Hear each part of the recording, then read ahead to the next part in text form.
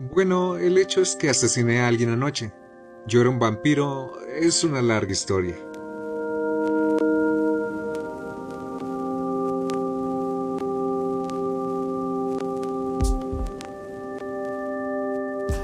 Nicolas Cage ha hecho de todo, desde comedias, dramas, terror, cómics, acción, pero la razón por la que es reconocido últimamente han sido sus papeles exagerados, donde se han inspirado muchos memes. Hoy vamos a dar un repaso al génesis de esta faceta. Hoy hablaremos del beso del vampiro de 1988.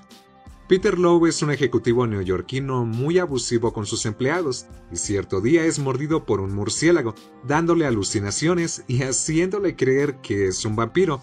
Lowe se pasará toda la cinta actuando como tal, mientras la gente a su alrededor no le dice nada por temor a ser despedida, dejando que su fantasía continúe y creando una película tan mala que es buena, perfecta para ver con los amigos y reírse mucho. Y si Nicolas Cage no hubiera protagonizado este filme, sería automáticamente una mejor película, pero muchísimo menos divertida.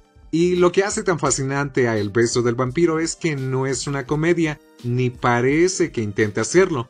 Parece que les salió por accidente. Una cinta donde todos los personajes actúan como si fuera una drama llena de misterio, tocando incluso temas muy oscuros. Todos menos Nicolas Cage, quien presenta la actuación más exagerada de su carrera, como si accidentalmente fuera el único al que no le dijeron que iba a ser una película seria. Incluso si buscamos recopilaciones de los 100 mejores momentos del actor, la gran mayoría serían de esta obra. Y saben, esto me hace admirar a Cage, saber que tiene tanta entrega como actor y sin miedo a exagerar que hace lo necesario para que incluso sus proyectos mediocres nunca sean aburridos.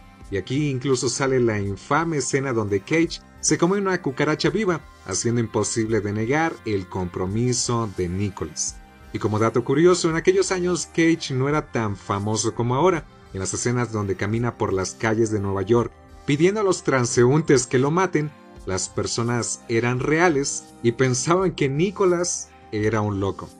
La temática de humor negro tan enfermizo de este filme inspiró abiertamente a American Psycho, al igual que la obra que hizo famoso a Christian Bale. El beso del vampiro también transcurre en los ochentas, centrado en la cultura de excesos y capitalismo, donde los yuppies se volvían notorios.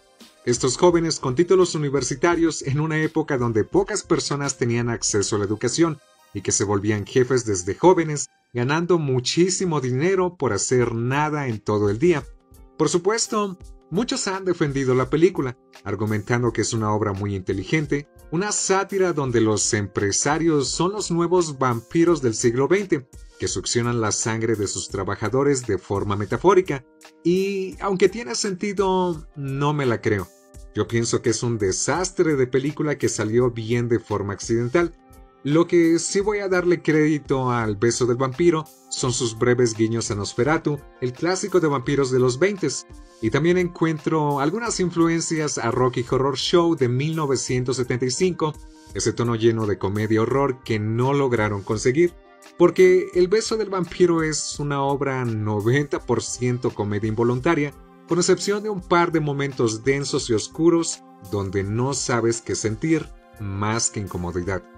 Cage ha comentado varias veces que esta es la película que se siente más orgulloso de haber realizado en toda su carrera, y es que es una obra fascinante que personalmente me gustaría que hicieran documentales del detrás de cámaras para averiguar qué les pasaba por la cabeza al momento de hacerla. Y aunque la obra fue odiada por la crítica en aquellos años, con el paso del tiempo han hecho las paces y le han dado la calificación de 61%, porque al igual que muchos apoyan a los villanos porque son más interesantes que los héroes, muchos amamos las malas películas porque suelen ser más divertidas. El beso del vampiro, este clásico de culto, es el ejemplo perfecto. Eso fue todo, los invito a que le den like, que le den dislike, que comenten y se suscriban.